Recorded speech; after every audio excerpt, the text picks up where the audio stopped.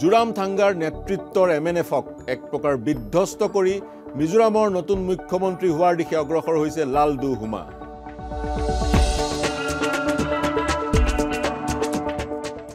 সংবাদ শিৰোনাম দখল কৰা কোনে Lalduhoma? Z P M নামৰ যিটো তুলনামূলকভাৱে নতুন আঞ্চলিক ৰাজনৈতিক দল সেই দলটোৰ মুৰব্বী লালডু হুমা। ঊনৈছশ ঊনপঞ্চাছ চনত জন্ম এইজন ব্যক্তিৰ ঊনৈছশ সাতসত্তৰ চনত তেওঁ ইউ পি এছ চিৰ পৰীক্ষাত পাছ কৰি উত্তীৰ্ণ হৈ যোগদান কৰিছিল ভাৰতীয় পুলিচ সেৱাত।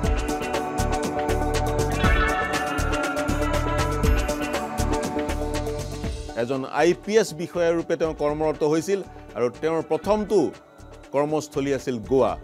গোৱাত সেই সময়ত সক্ৰিয় এক ড্ৰাগছ সৰবৰাহকাৰী চক্ৰক উৎখাত কৰি নিৰ্মূল কৰি তেওঁ সংবাদ শিৰোনাম দখল কৰিছিল। আৰু দৃষ্টিগোচৰ হৈছিল তেওঁৰ কাম ইন্দিৰা গান্ধীৰ। সেই সময়ৰ প্ৰধানমন্ত্ৰী শ্ৰীমতী ইন্দিৰা গান্ধীৰ। পৰৱৰ্তী সময়ত ইন্দিৰা গান্ধীৰ অৰ্থাৎ প্ৰধানমন্ত্ৰীগৰাকীৰ নিৰাপত্তাৰ দায়িত্বও তেওঁক অৰ্পণ কৰা হৈছিল।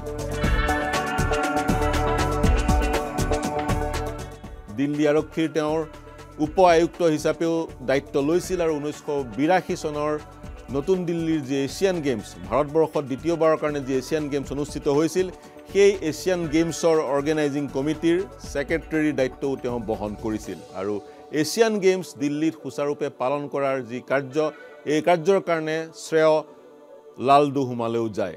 পৰৱৰ্তী সময়ত তেওঁক ইন্দিৰা গান্ধীয়ে আই পি এছৰ চাকৰি ত্যাগ কৰি এক নতুন দায়িত্ব অৰ্পণ কৰিছিল। সেই দায়িত্ব হৈছে মিজোৰামত শান্তি ঘূৰাই অনাৰ।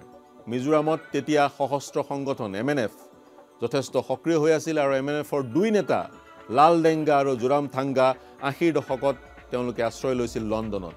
ইন্দিৰা গান্ধীয়ে দায়িত্ব দিছিল লালডু হুমাক লণ্ডন যাবলৈ আৰু পতিয়ন নিয়াবলৈ এই দুই এম এন এফৰ শীৰ্ষ নেতাক যাতে তেওঁলোকে শান্তি আলোচনা আৰম্ভ কৰে। লালডু হুমা লণ্ডনলৈ গৈছিল কনভিন্স কৰিছিল লাল ডেংগাক আৰু লাল ডেংগাক ভাৰতলৈ লৈ আহিছিলে আৰু প্ৰধানমন্ত্ৰী ইন্দিৰা গান্ধীৰ সৈতে আলোচনাৰ কাৰণে সময় ঠিক কৰিছিল। প্ৰথমটো যিটো সাক্ষাৎ ঠিক কৰা হৈছিল লাল ডেংগাৰ প্ৰধানমন্ত্ৰীৰ সেই তাৰিখটো আছিল একত্ৰিছ অক্টোবৰ ঊনৈছশ চৌৰাশী বিয়লিৰ বেলা।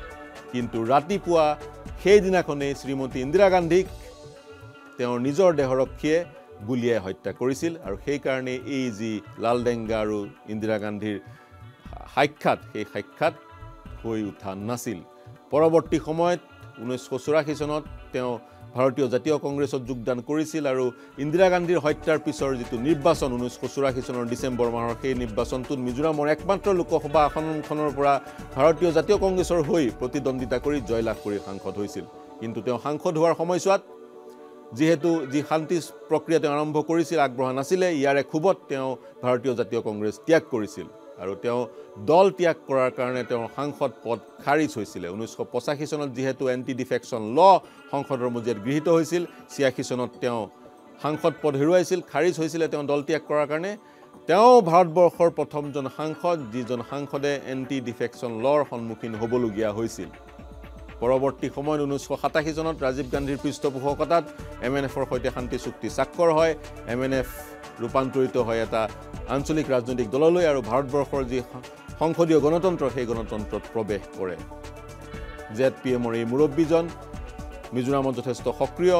মিজোৰামৰ মিজোৰামৰ সমাজ জীৱনৰ এজন পৰিচিত ব্যক্তি। মিজোৰামৰ সমাজ জীৱনত তেওঁৰ যথেষ্ট অৱদান। বিশেষকৈ মিজোৰামত শান্তি স্থাপন কৰাত তেওঁৰ যথেষ্ট অৰিহণা আছে। সেই চুক্তিখনৰ পিছতে ঊনৈছশ সাতাশী চনত মিজোৰামে পূৰ্ণ পৰ্যায়ৰ ৰাজ্যৰ মৰ্যাদা লাভ কৰিছিল আৰু তাৰ পিছৰ ইতিহাস আমি সকলোৱে জানো।